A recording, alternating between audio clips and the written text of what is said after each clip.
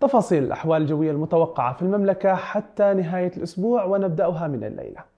حيث يتسرب الهواء القطبي باتجاه شمال المملكة ويطرأ انخفاض كبير على الحرارة شمالا ويكون الطقس شديد البرودة فوق المرتفعات.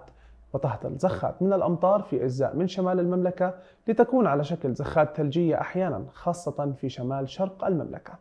الطقس بارد في بقية المناطق ومعتدل على سواحل البحر الأحمر.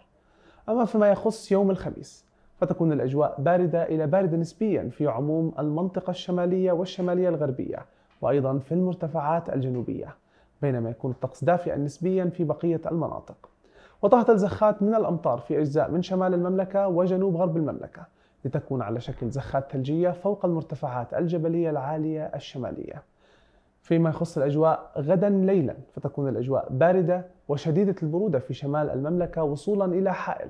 وباردة. في باقية المناطق مع احتمال هطول زخات متفرقة من الأمطار في أجزاء محدودة من جنوب غرب المملكة.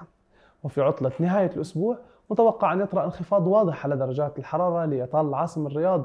تكون الأجواء باردة نسبيا إلى باردة في مختلف المناطق باستثناء المناطق المطلة على البحر الأحمر والسواحل. أيضا هنالك فرص محدودة للأمطار المحلية في جنوب غرب المملكة. وفيما يخص عطلة نهاية الأسبوع ليلا تكون الأجواء باردة بوجه عام بينما تكون شديدة البرودة في أجزاء من شمال المملكة ووصولا إلى حائل. نتمنى السلامة للجميع في حال أردتم المزيد من المعلومات. يمكنكم زيارة موقع وتطبيق طقس العرب. دمتم في أمان الله.